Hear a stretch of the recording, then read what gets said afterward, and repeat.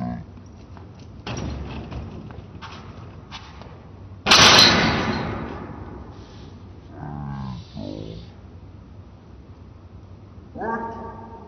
You seem to be a little faster on that side.